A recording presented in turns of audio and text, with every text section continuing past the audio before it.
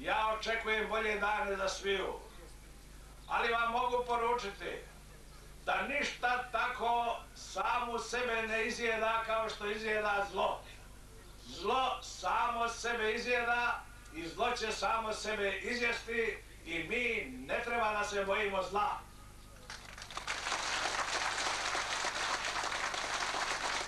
Vi nemate razloga da se bojite, vi nemate razloga da strepite od bilo kakvih progona. Ovo je moderna Europa, ovo nije Europa 41. godine kojom vlada najmračnija i najmoćnija organizirana sila svijeta, njemački nacizam. Danas vlada u svijetu demokracija i ne može se dogoditi da bilo koja etnička grupa protiv neke druge etničke grupe povede ne samo akciju, nego da povede čak i verbalnu akciju. Meni prigovaraju što sam otišao na talijansku televiziju da govorim o srpskom pitanju u Hrvatskoj. Otiću svagdje i na sve televizije svijeta da upoznam svijet što mi hoćemo, što smo mi ovdje u Hrvatskoj, da mi ovdje nismo došljaci, da mi ovdje stotinama godina živimo i da skupa sa hrvatskim narodom i branimo ove terene i gradimo ovu zemlju.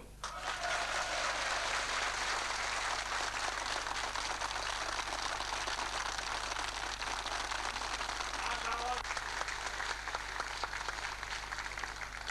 Vodio sam razgovore sa gospodinom Cimermanom, ambasadorom Sjedinjenih američkih država Jugoslavije. Došao sam k njemu na njegov poziv i razgovarali smo o položaju Srba u Hrvatskoj i o Jugoslaviji.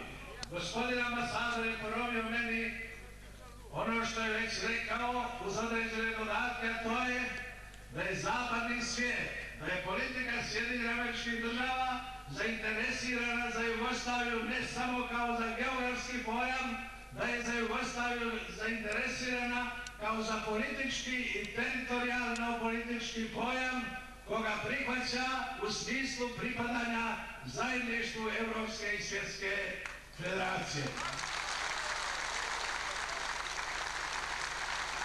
Gospodin ambasador je kazao da nije zainteresiran ni on ni Sjedinjene američke države, a koliko zna Evropa, da, da se Jugoslavija razbija na male državice koje bi onda prilazile Evropi. Rekao mi je da očekuju da Jugoslavija priđe Evropi onakva kakva jest i onakva kakva će biti. Naši putovi u Evropu su zajednički, mi ćemo ići u Europu skupa i radosno, mi ćemo u Europu ići pune svijesti da idemo jednim putem koji je stvaran, jednim putem koji je civilizacijski, a iznad svega slobodarski, demokratski. Doći u Srbiju kao politička stranka,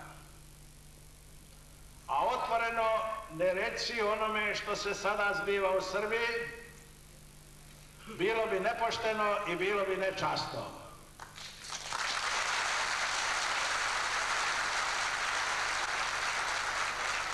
Potpuno sam svjestan rizika svi u nas kad ovdje u središtu srpske duhovnosti govorim o situaciji u Srbiji. Ali kad je nama bilo lako i kada mi to nismo rizikovali.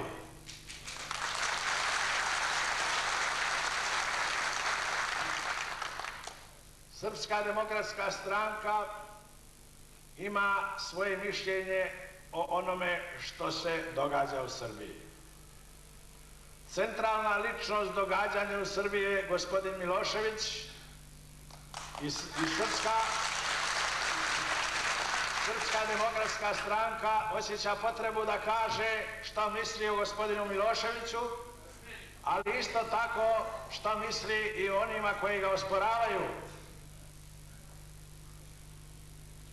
Mi smatramo da je gospodin Milošević bio na čelu jedne komunističke ili kako je sad u modi da se kaže bolševičke grupe koja je na osmoj sjednici porazila vazalnu grupu, a porazila je vazalnu grupu zbog toga što je sobom ili na sebi nosila etničke oznake pokunjenog i rasturenog srpstva.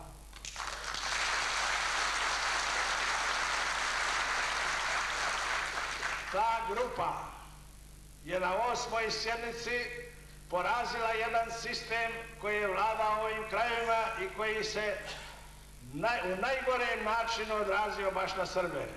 Na osmoj sjednici je Milošević porazio titoizam.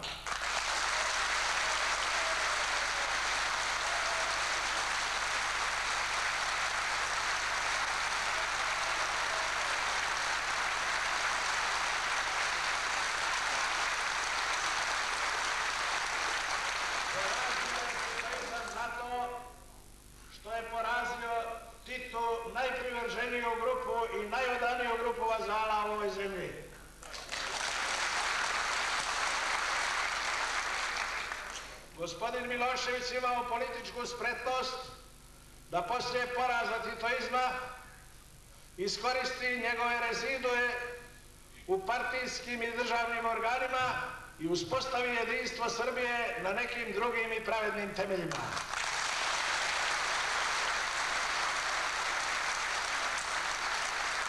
Slobodan Milošević je zato Srbiji donio i samopoštovanje, donio je vjeru i nadu ali joj nije donio tim aktom i slobodu.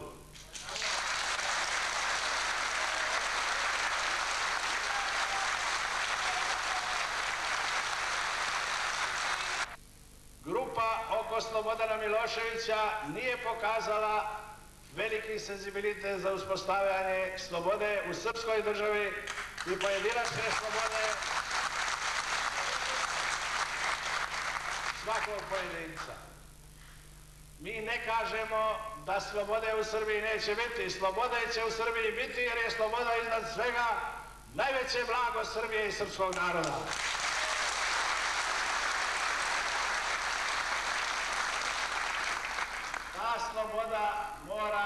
Početi na jedan drugi način. Slobodu ne može organizirati niti jedna politička partija sama.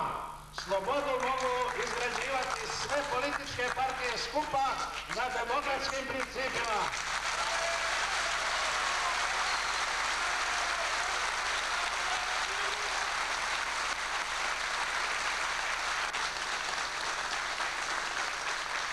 Nažalost i našu i Hrvatsku potpuno će se odvojiti ti krugovi i ti krugovi mogu imati u budućnosti samo nasilnu vođu, nasilnu vezu pod nekim abstraktnim, izmišljenim vođom, pod nekim, da tako kažem, diktatorskim sistemom. Nema demokratskih razgovora između srpskog i hrvatskog naroda ukoliko ovaj najnoviji plebiscit srpskog naroda ne donese, srpskog naroda Hrvatska ne donese suverenitet.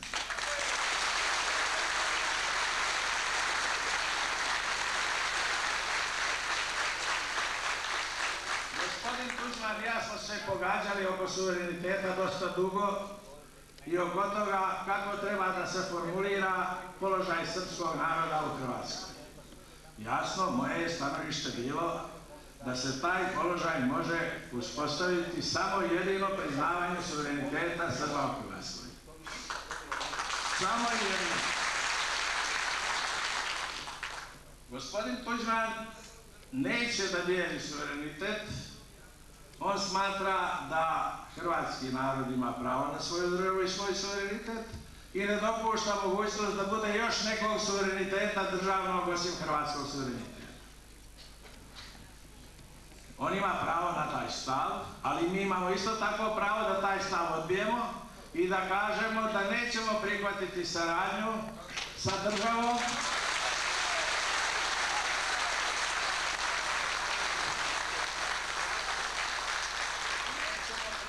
saradnju sa državom koja naš suverenitet odbija.